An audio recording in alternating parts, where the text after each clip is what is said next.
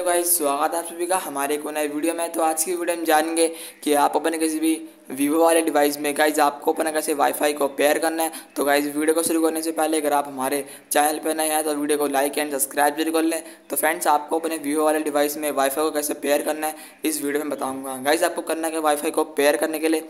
Settings open करना है। Settings open करने के बाद सिंपली फ्रेंड्स यहाँ पर आपको देखने को मिलता है इंटरफेस में नेटवर्क एंड इंटरनेट तो आपको यहाँ पर क्लिक करना है। क्लिक करने के बाद फ्रेंड्स आपको वाईफाई पे टैप करना है।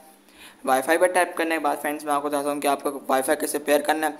इसके फ्रेंड्स अभी वाईफाई के कई सारे ऑप्शन आपको दे, देखने को मिल जाता है। तो गाइस आपको किसी एक ऑप्शन पर क्लिक कनेक्शन में क्लिक करके फ्रेंड्स आपको उसका पासवर्ड पता होना चाहिए। तो गाइस मुझे इस कनेक्शन का पासवर्ड पता है तो मैं इसको टाइप कर लेता हूँ।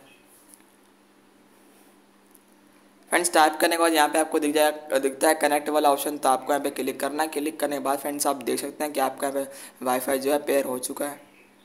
तो फ्रेंड्स इस तरीके से गाइस आपको अपने वीवो वाले फ़ोन में आपको वाईफाई पेयर कर लेना है। तो मिलते हैं नेक्स्ट वीडियो में। Bye bye guys